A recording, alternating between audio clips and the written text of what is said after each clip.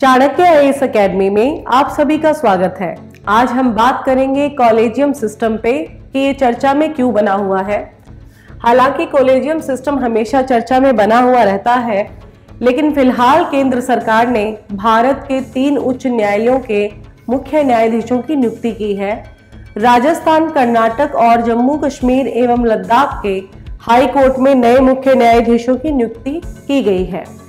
इन मुख्य न्यायाधीशों की नियुक्ति की सिफारिश भारत के मुख्य न्यायाधीश यू यू ललित के नेतृत्व वाले सुप्रीम कोर्ट कॉलेजियम द्वारा की गई थी। सुप्रीम कोर्ट कॉलेजियम देश में न्यायाधीशों की नियुक्ति की सिफारिश करता है। मुख्य न्यायाधीश यू यू ललित ने 28 सितंबर को इन मुख्य न्यायाधीशों की नियुक्ति की सिफारिश की थी। अब यहाँ से बहुत सारे सवाल हमारे दिमाग में आते हैं कि जजों की नियुक्ति की प्रक्रिया क्या होती है? कॉलेजियम सिस्टम क्या होता है? कॉन्स्टिट्यूशन में इसका क्या प्रावधान है? इत्यादि। तो सबसे पहले हम देखते हैं कि जजों को नियुक्त करने की प्रक्रिया क्या है। कॉलेजियम वकीलों या जजों के नाम की सिफारिश केंद्र सरकार को भेजती है। इसी तरह केंद्र भी अपने कुछ प्रस्तावित नाम कॉलेजियम को भेजती है। केंद्र के पास कॉलेजियम से आने वाले नामों की जाँच या आपत्तियों की छानबीन की जाती है और रिपोर्ट वापस कॉलेजियम को भेजी जाती है। सरकार इसमें कुछ नाम अपनी ओर से सुझाती है। कॉलेजियम केंद्र द्वारा सुझाए गए नए नामों और कॉलेजियम के नामों पर केंद्र की आपत्तियों पर विचार करके फ़ाइल दोबारा केंद्र के पास भेजती है। इसी तरह नामों को एक दूसरे के पास भेजने का यह क्रम जारी रहता है। और देश में मुकदमों की संख्या दिन प्रतिदिन बढ़ती जाती है। जब कॉलेजियम किसी वकील या जज का नाम केंद्र के पास दोबारा भेजती है तो केंद्र को उस नाम को स्वीकार करना ही पड़ता है। लेकिन कब तक स्वीकार करना है, इसकी कोई समय सीमा नहीं है। अब हम देखेंगे कि कॉलेजियम सिस्टम होता क्या है। कॉलेजियम सिस्टम का भारत के संविधान में कोई भी ज़िक्र नहीं है। यह सिस्टम 28 अक्टूबर उन्नीस सौ अट्ठानवे को तीन जजों के मामले में आए। सुप्रीम कोर्ट के फैसलों के ज़रिए प्रभाव में आया था। कॉलेजियम सिस्टम में सुप्रीम कोर्ट के चीफ जस्टिस और सुप्रीम कोर्ट के चार वरिष्ठ जजों का एक फॉरम जजों की नियुक्ति और तबादले की सिफारिश करता है। कॉलेजियम सिस्टम की सिफारिश दूसरी बार भेजने पर सरकार के लिए मानना ज़रूरी होता है। कॉलेजियम की स्थापना सुप्रीम कोर्ट के पाँच सबसे सीनियर जजों से मिलकर की जाती है। सुप्रीम कोर्ट तथा हाई कोर्ट में जजों की नियुक्ति एवं तबादलों का फैसला भी कॉलेजियम ही करता है।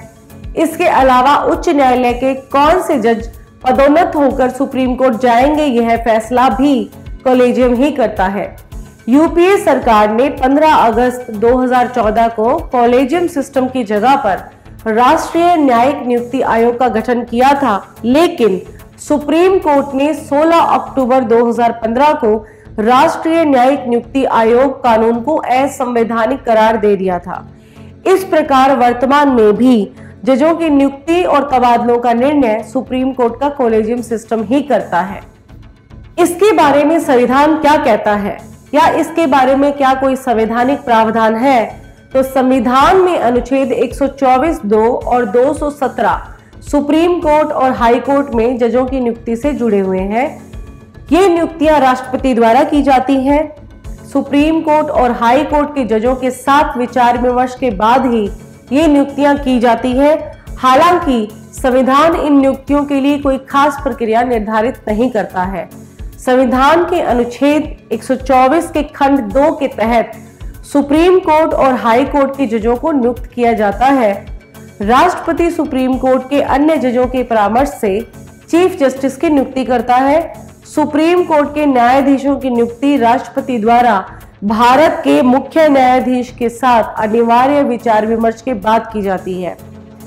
वहीं संविधान के अनुच्छेद 217 के अनुसार हाई कोर्ट के जस्टिस की नियुक्ति राष्ट्रपति द्वारा भारत के मुख्य न्यायाधीश राज्य के राज्यपाल के परामर्श से की जाती है।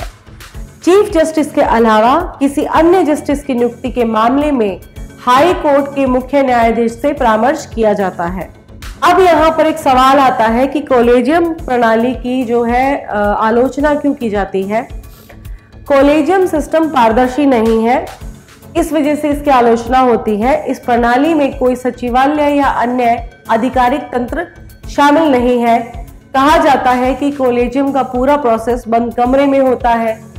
इस बारे में किसी को भनक भी नहीं लगती है। इसके लिए कोई पात्रता और चयन प्रक्रिया पारदर्शी नहीं है।